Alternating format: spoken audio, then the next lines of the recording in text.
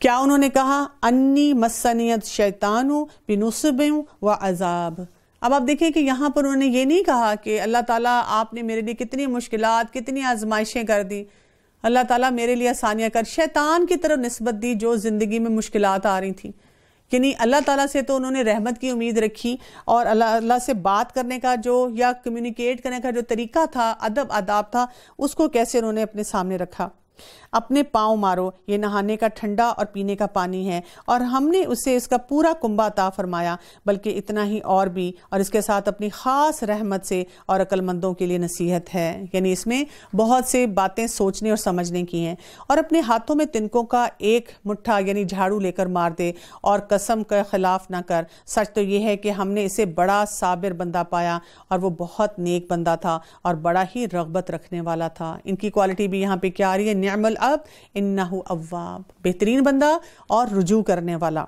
हमारे बंदो इब्राहिम इसाक और याकूब अलैहिस्सलाम का भी लोगों से ज़िक्र करो, जो हाथों और आँखों वाले थे। हमने इन्हें एक ख़ास बात, यानी आखरत की याद के लिए मखसूस कर दिया है।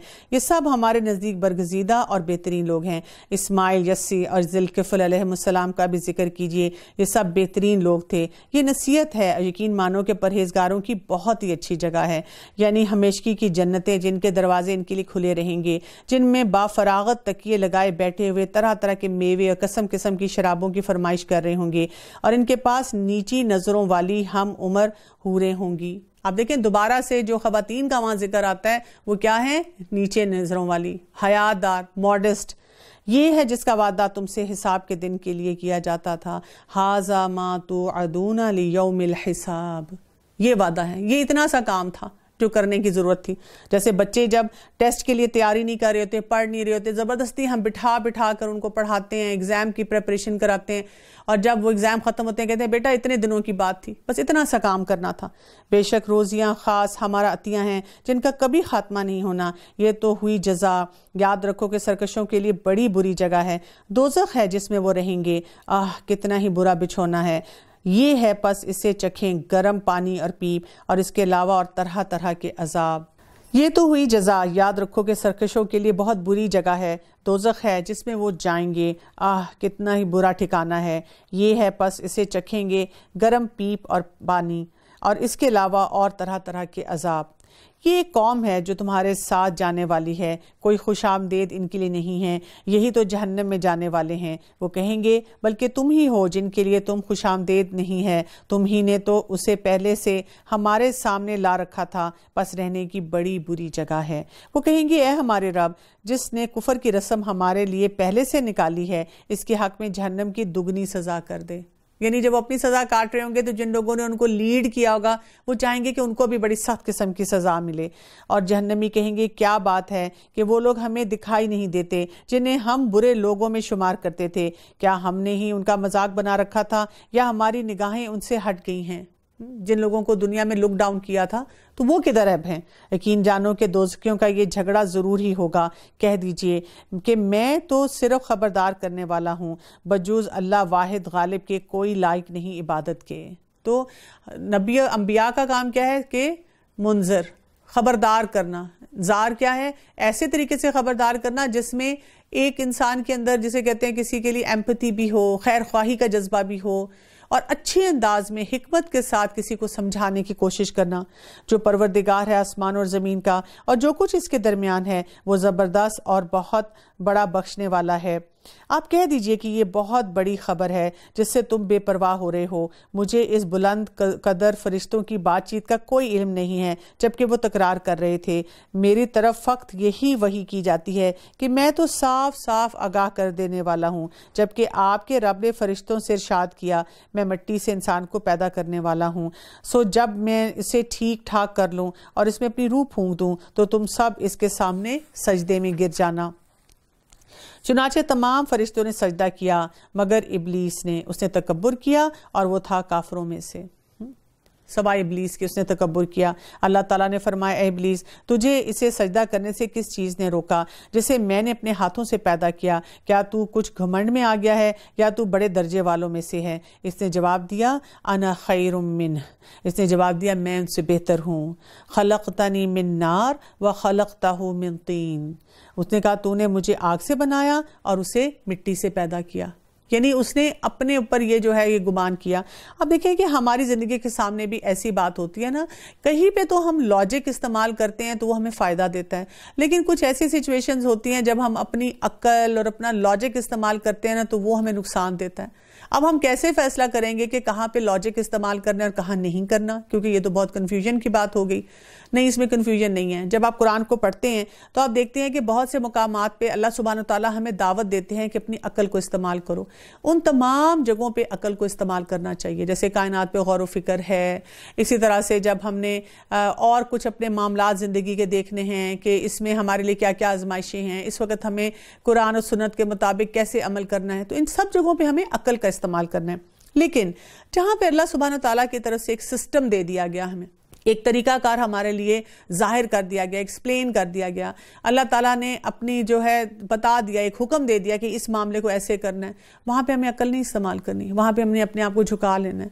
वहाँ पे हमने अल्लाह का बंदा यस मैन बन जाना है कि अल्लाह ताला ने जो बता दिया, उसी में हकीकत है और मैंने उसी के मुताबिक चलना है।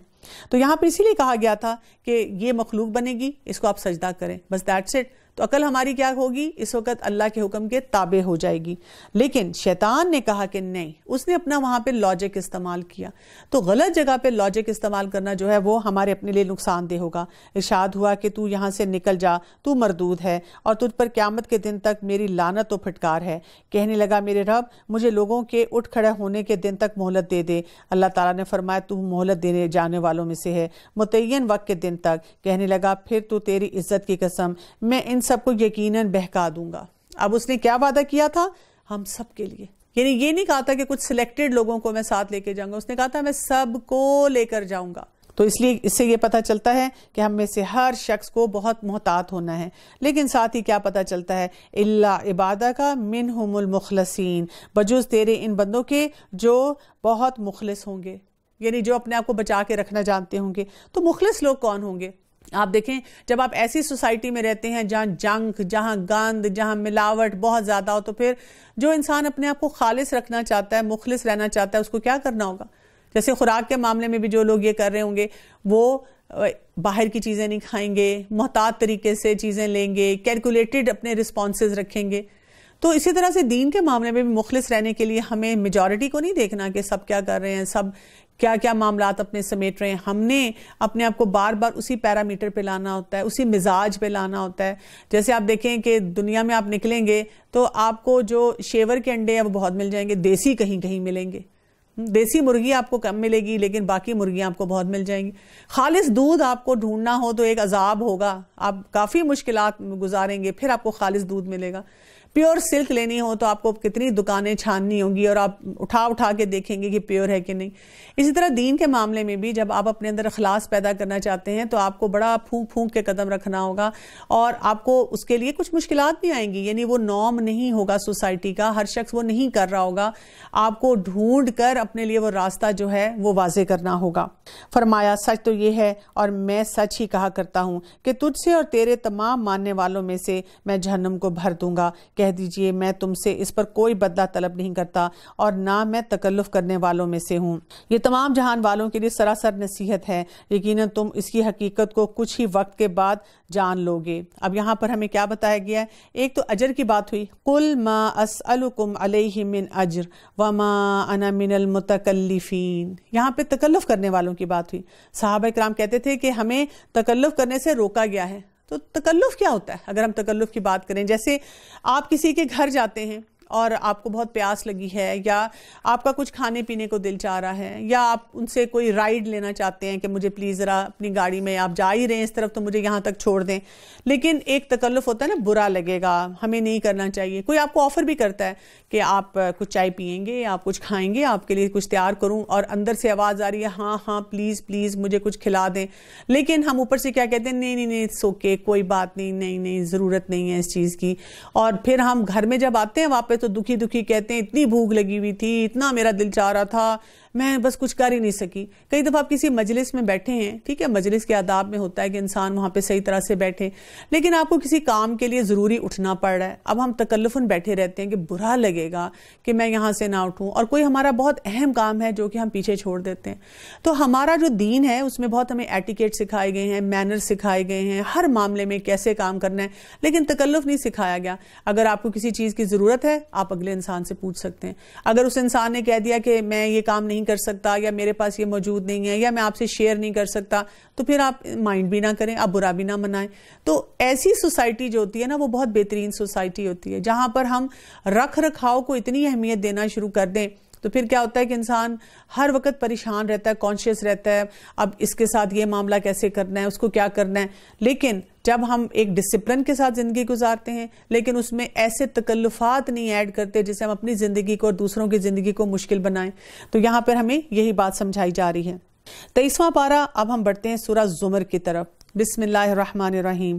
तंजील किताब मिनल्लाज़ीज़ हकीम। शुरू करती हूँ अल्लाह के नाम से, जो बहुत मेहरबान और नहायत रहम फरमाने वाला है। इस किताब का उतारना अल्लाह गालिब बाहिकमत वाले की तरफ़ से है। यकीनन हमने इस किताब को आपकी तरफ़ हक के साथ नाजिल फरमाया है। बस आप अल्लाह ही की इबादत करें, उसी के लिए दीन को खालिस करते हुए। मुखलिसल्लाहुद्दीन दीन को खालिस करना है। यानी जो जो हमारे हमने अपने लिए कुछ ऐसी चीज़ें शामिल कर ली दीन में जो दीन का हिस्सा नहीं है उनको निकालते चले जाना है। उसको वहाँ से फारिग करें उनको उनके बारे में केयरफुल होना शुरू हो जाए उनका अप, उनको जस्टिफाई ना करें उनको जब आप अपने सामने जैसे एक लिस्ट बनाएँ कि अच्छा दीन में कैसे नमाज़ को कैसे खालिज करना है अल्लाह की मोहब्बत को कैसे खालिज करना है, अल्लाह की इबादत को कैसे खालिज करना है, अपने मामला को कैसे खालिज करना है। ख़बरदार, अल्लाह ताला ही के लिए ख़ास इबादत करना है और जिन लोगों ने इसके सिवा दूसरे मबूद बना रखे हैं और कहते हैं कि हम इनकी इबादत सिर्फ़ इसलिए करते हैं कि ये बुज़ुर्ग अल्लाह की नज़दीकी के मरतबे तक हमारी रसाई करा दें।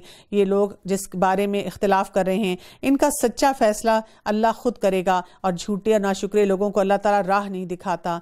अगर अल्लाह ताला का इरादा औलाद ही का होता तो अपनी मखलूक में से जिसे चाहता चुन लेता, लेकिन वो तो पाक है और वही अल्लाह ताला यगाना और कुवत वाला है। नहायत अच्छी तदबीर से इसने आसमान और ज़मीन को बनाया। वो रात को दिन पर और दिन को रात पर लपेट लेता है और उसने सूरज चाँद को काम पर लगा रखा है। हर एक मुकर मुद्दत तक चल रहा है। यकीन मानो कि वही ज़बरदस्त और गुनाहों को बख्शने वाला है। यानी अल्लाह ताला ने जो सिस्टम बनाए हैं, ये सिस्टम इस बात की निशानदेही करते हैं कि हमें किसी ऐसे सिलसिले की ज़रूरत नहीं है। कि जिसमें अल्लाह ताला किसी पे डिपेंडेंट हो। क्योंकि औलाद का होना हमें क्या बात बताते हैं कि औलाद का मतलब ये होता है कि इंसान की कोई डिपेंडेंसी है किसी पे। उसने तुम सबको एक ही जान से पैदा किया, फिर उसी से उसका जोड़ा पैदा किया और तुम्हारे लिए चौपायों में से आठ नर और मादा उतारे। वो तुम्हें तुम्हारी माओ के पेटों में एक बनावट के बाद दूसरी बनावट पर बनाता है तीन तीन अंधेरों में। यही अल्लाह तुम्हारा रब है और इसी के लिए बादशाहत है और इसके सिवा कोई मबूद नहीं। फिर तुम कहाँ बहक रहे हो? इंसान अपनी पैदाइश पे गौर करना शुरू कर दे। यानी अगर आप कुछ भी देखें, आजकल तो साइंसेस को समझना और देखना लोगों के लिए मुश्किल नहीं रहा।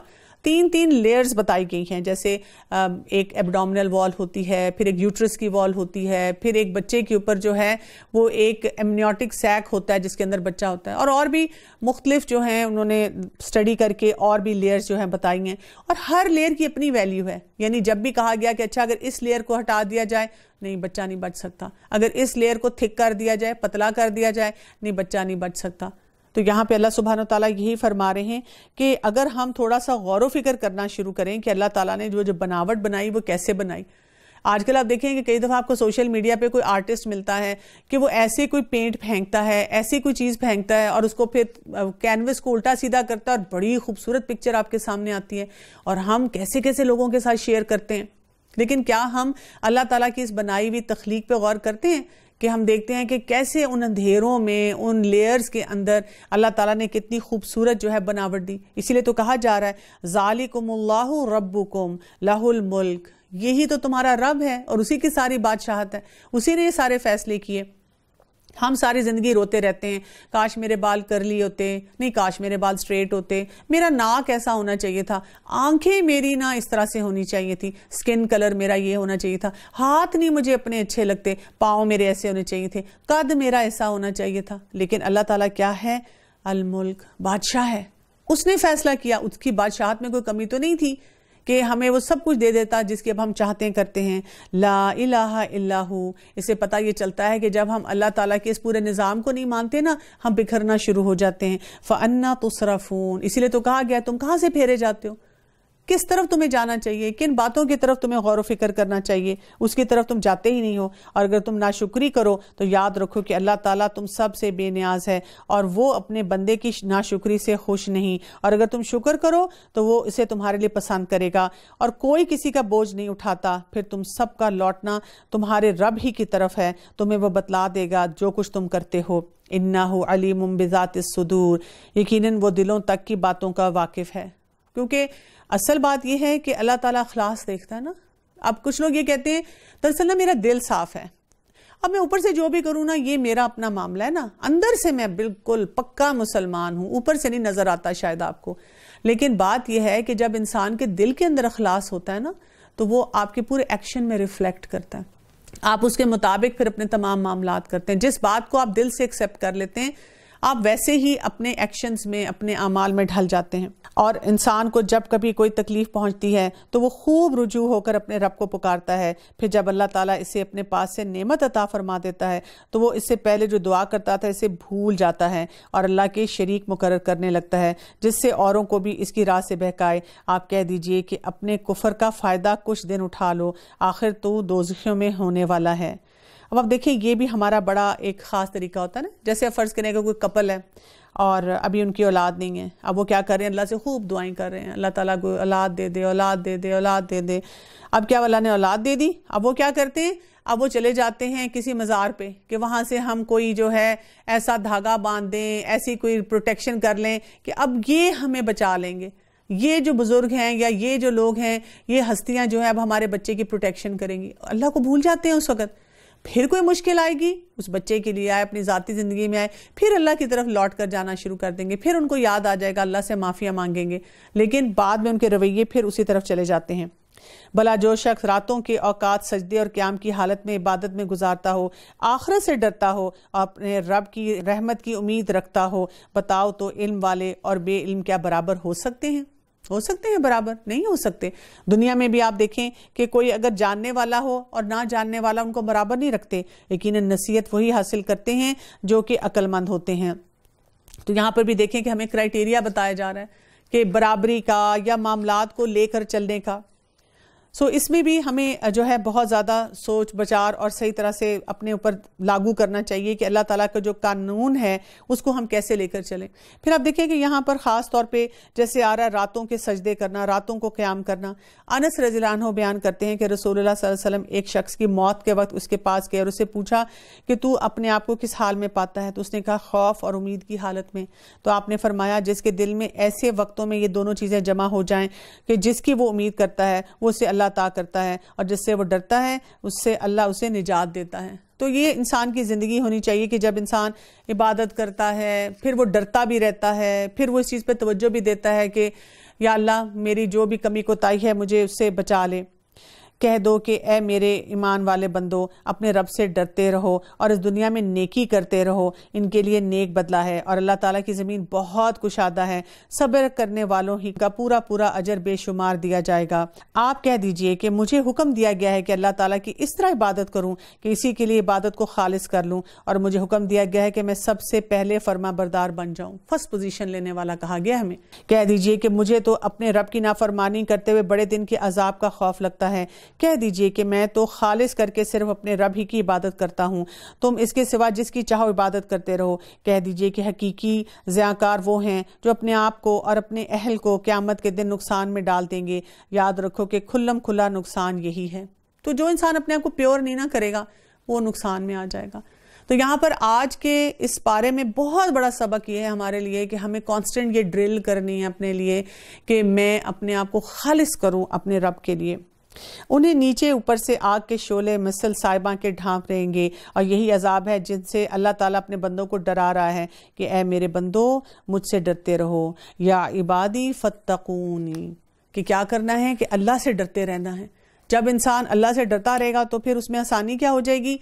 वो अपने आप को बहुत से मसलों से बचा पाएगा। और जिन लोगों ने ताबूत की इबादत से परहेज किया और अल्लाह ताला की तरफ़ मुतवजो रहे, वो खुशखबरी के मुस्तक हैं। मेरे बंदों को खुशखबरी सुना दीजिए। जो बात को कान लगाकर सुनते हैं, फिर जो बेहतर बात हो उस पर अमल करते हैं। यही हैं जिन्हें अल्लाह ताला ने हदायत की और यही अक्लमंदी है। ठीक है? क्या चीज़ है? कान को मतलब कान लगाकर गौर से बात को सुनना है। और फिर उसमें से जो सही बात है, उसको अप्लाई करना है। भला जिस शख्स पर अजाब की बात साबित हो चुकी है तो क्या आप उसे जो दोजख में है छुड़ा सकते हैं? हाँ वो लोग जो अपने रब से डरते रहें, उनके लिए बाला खाने हैं, जिनके ऊपर भी बने हुए बाला खाने हैं और इनके नीचे नहरें बह रही हैं। वाद अल्लाह अल्लाह का वादा है। लायुखलफ़ुल्लामियाद और अल्लाह अपने वादे के ख़िलाफ़ नहीं करता। क्या आपने नहीं देखा कि अल्लाह ताला आसमान से पानी उतारता है और उसे ज़मीन की सोतों में पहुँचाता है, फिर इसके ज़रिए मुख्तलिफ़ किस्म की खेतियाँ उगाता है, फिर वो खुश खुश्क हो जाती हैं और आप इन्हें जर्द रंग देखते हैं, फिर इन्हें रेजा रेजा कर देता है। इसमें अक्लमंदों के लिए बहुत ज़्यादा नसीहत है। आप देखिए, एक ज़माने में तो लोग जब कुरान की आयात पढ़ते थे तो वो इमेजिन करते थे, लेकिन इस वक्त हमारे लोग जो हैं, जो टाइम लैप्स की पूरी वीडियोस देखते हैं, बीज निकला, फूल बना, फल बना, फिर वो मुरझाया, सारी चीज़ें हमारी आँखों के सामने उस तरह से आ जाती हैं। तो क्या हम नसीहत नहीं हासिल करेंगे? क्या वो शख्स जिसका सीना अल्लाह ने इस्लाम के लिए खोल दिया? बस वो अपने परवरदिगार की तरफ़ से एक नूर पर है और हलाकी है उन पर जिनके दिल याद इलाही से बिल्कुल बल्कि सख्त हो गए। ये लोग सरी गुमराही में हैं। उलाय काफ़ी दलाल मुबीन। यहाँ पे किसकी बात हो रही है? जिसका सीना शराह सदराहुल इस्लाम। जब किसी का सीना इस्लाम के लिए खोल दिया और उसके अंदर नूर आ गया और उसके मुकाबले में वो लोग जिनका सीना बंद हुआ हुआ है तो इसीलिए कहते हैं ना कि अपने दिल के सीने के खुलने के लिए जो है बात करनी चाहिए, क्योंकि जब आपका दिल खुला हुआ होता है ना तो आप हर चीज़ को एक्सेप्ट कर लेते हैं। मुश्किल से मुश्किल चीज़ को भी आप ये ज़रूर सोचते हैं कि अच्छा इसको करूँगी कैसे? मेरे तो ख़ानदान में जॉब में फैमिली में इधर उधर बड़ी मुश्किल आते हैं। मेरे तो अपने नफ्स के इतने चैलेंजेस हैं। ये बड़ा मुश्किल काम है मेरे लिए। लेकिन फिर आप कहते हैं, अल्लाह का हुक्म है ना तो इन अल्लाह ही मुझे तोफ़ीक देगा। तो अपने सीना जो खोलना है और उसके साथ जो जिनका तंग हुआ हुआ हो उनमें दरमियान में बहुत फ़र्क है। अल्लाह ताला ने बेहतरीन कलाम नाजिल फरमाया है और जो ऐसी किताब है कि आपस में मिलती जुलती और बार बार दोहराई हुई आयतों की है, जिनसे लोगों के रोंगटे खड़े हो जाते हैं, जो अपने रब का खौफ रखते हैं। आखिर में इनके जिसम और दिल अल्लाह ताला के ज़िक्र की तरफ़ नरम हो जाते हैं। ये है अल्लाह ताला की हदायत, जिसके ज़रिए जिसे चाहे राह रास पर लगा देता है और जिसे अल्लाह ताला ही राह भुला दे, उसका कोई हादी नहीं। तो अब क्या है यहाँ पर कि असल बात क्या है कि जब जिन लोगों का सीना खुला हुआ होता है ना उनको डर लगता है। वो कहते हैं, ये कैसे होगा? उनके रोंगटे खड़े हो जाते हैं। लेकिन बाद में जब वो अल्लाह का ज़िक्र करते हैं, उस पर रिफ्लेक्ट करते हैं, सोचते हैं, दिल में बड़ी मोहब्बत आती है अल्लाह ताला की, कि अल्लाह ताला ने जो मुश्किल से मुश्किल कवानीन भी रखे हैं, उनमें कितनी आसानी है हमारे लिए। भला जो शख्स क्यामत के दिन के बदतरीन अजाब की ढाल अपने मुँह पर बना लेगा। ऐसे ालमों से कहा जाएगा कि अपने किए का वबाल चखो। इनसे पहले वालों ने भी झुटलाया। फिर वहाँ से अजाब आ पड़ा, जहाँ से उनको ख्याल भी ना था। और अल्लाह ताला ने इन्हें दुनिया की ज़िंदगी में रसवाई का मज़ा चखाया। और अभी आखरत का तो बड़ा भारी अजाब है। काश कि ये लोग समझ लें। लौकानू या लमून और यकीनन हमने इस कुरान में लोगों के लिए हर किस्म की मिसालें बयान कर दी हैं कि क्या अजब कि वो कोई नसीहत हासिल कर लें। हर एंगल बता दिया गया। मल्टी डायमेंशनल अप्रोच है। कि हर तरह से हमें समझाने की कोशिश की गई है कि क्या मामला किया जाए। कुरान है अरबी में, जिसमें कोई कजी नहीं। हो सकता है वो परहेजगारी इख्तियार कर लें। अल्लाह ताला मिसाल बयान फरमा रहा है कि एक वो शख्स जिसमें बहुत से बाहम जिद अल्लाह ताला मिसाल बयान फरमा रहा है कि एक वो शख्स जिसमें बहुत से बाहम जिद रखने वाले साजी हैं और दूसरा वो शख्स जो सिर्फ़ एक ही का गुलाम है।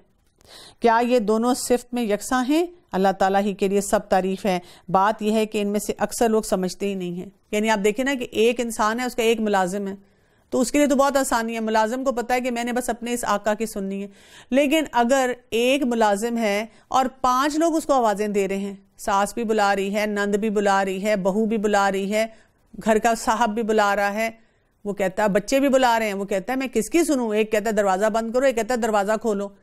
एक कहता है, ये पकाओ, दूसरा कहता है, नहीं, ये पकाओ। एक कहता है, ये बर्तन लगाओ, दूसरा कहता है, नहीं, ये बर्तन लगाओ। मुझे तो उन्होंने पागल कर दिया है। तो जो इंसान एक अल्लाह के साथ जुड़ता है, वो फोकस्ड रहता है।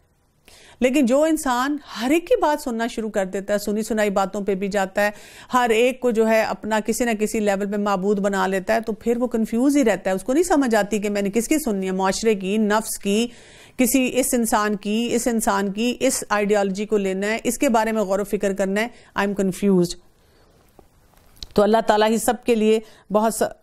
अल्लाह ही के लिए सब तारीफ़ है। बात यह है कि इनमें से अक्सर लोग समझते नहीं हैं। यकीन खुद आपको भी मौत आएगी और ये सब भी मरने वाले हैं। फिर तुम सब के सब क्यामत के दिन अपने रब के सामने झगड़ोगे। तो क्या है कि जब इंसान इस दुनिया से चला जाएगा और वो जो वक्त आएगा, उस वक्त इंसान को एहसास होगा कि अब हमने क्या कुछ किया और हमारी ज़िंदगी में जो भी बातें हुई, उसको कैसे करना चाहिए था। मौत की बात आ रही है तो आयशा रजीलाना बयान करती हैं कि अल्लाह के रसूल सल्लल्लाहु अलैहि वसल्लम की जब वफ़ात हुई तो आपका सर मुबारक मेरे सीने और रुखसार के दरमियान था। जितनी तकलीफ़ आप वसल्लम को हुई, उतनी किसी और को होते हुए मैंने नहीं देखा।